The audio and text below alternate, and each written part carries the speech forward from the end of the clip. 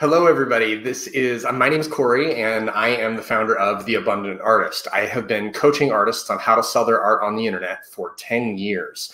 Uh, all of this week, I am taking five minutes to share uh, one of my top five takeaways from uh, spending 10 years coaching artists. Good morning. Hello, everybody. Thank you so much for being here. Hey, uh, hello, everybody over on Instagram. Uh, let's see, Dara or Dark Rain, Crane, Dark Dark Rainbow. That's what that is. hi, it's good to see you. I recognize you. Um, thank you for saying hi. Um, and good morning, everybody. I hope you're having a great day. Uh, so all this week, I've been talking about my my top five takeaways from uh, coaching artists on selling, on learning how to sell their art and run a business for ten years. Um, Today, I want to talk about what I call the 50 50 rule. Now, if you've been a reader for a while, if you've been in through any of our online courses, you're going to be very familiar with this rule. I always ask artists, how much time are you spending promoting your work, finding ways to sell your work, finding places to show your work? And the the reality of this really is, is very um, stark for a lot of artists when they when they hear how much work it takes to sell their art. If you're thinking about running an art business, um, my recommendation is that you spend 50% of your time making work and 50% of your time selling your work. Now that can take form, take a few different forms for a lot of artists, but every artist that we have had on our podcast to interview for the last six years since we started the podcast uh, has said, like all all the artists who are full time in their art business, uh, they spend at least 50% of their time marketing. Uh, that could be going to trade shows, like our, outdoor art fairs. It could be uh, doing social media. It could be uh, you know email marketing, building websites, whatever that is. They're all spending at least fifty percent of their time out there selling their work.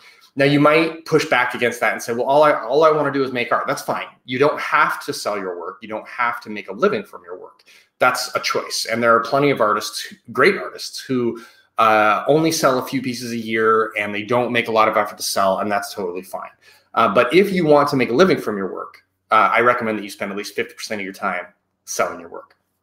Now, uh, that can look like a few different things. Uh, one of my favorite podcast episodes that we've done in the last few years is with Jesse Reno.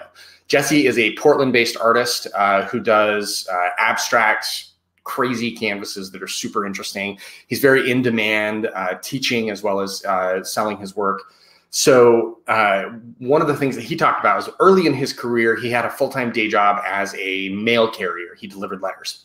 And what he would do is before he allowed himself to paint, uh, every day he would go looking for uh, places that he could sell his work.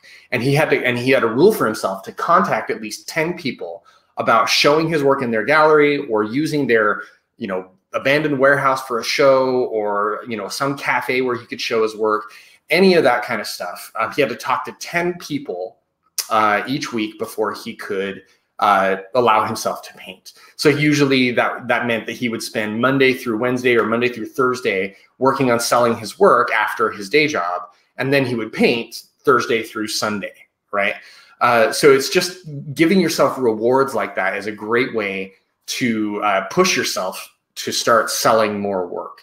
Um, now, a lot of artists do the outdoor art shows, um, maybe the maybe the indoor shows in New York or San Francisco. Uh, these are those are all fine. It's what you have to figure out what works for you. And if you want to see some other examples of what works, uh, check the uh, recordings uh, that we've done here. If you're watching on Crowdcast, you can just uh, scroll up and, and, hit the little drop down. And it'll show you some of the previous recordings. If you're watching on Instagram, head over to theabundantartist.com and then click on the courses page. Uh, and and for those on Crowdcast too, if you want to head to the courses page, we have a transcription of these recordings as well as notes and as well as uh, links to all of the books and other resources that I've mentioned.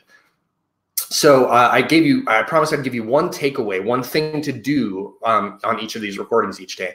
So the thing that I would suggest that you do uh, is commit to spending at least 50% of your time on marketing your art if you want to sell your work.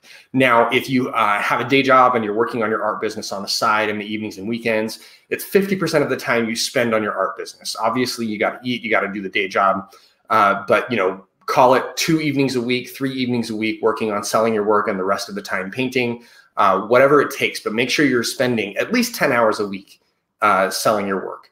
So hopefully you'll make that commitment. And if you have any questions, feel free to DM me on Instagram or shoot us a message um, at The Abundant Artist. Thanks so much for taking the time to watch, everybody, and we'll see you again tomorrow for my number five takeaway, uh, which is um, learn how to tell a good story. And I'll give you some good info there. Thanks, everybody.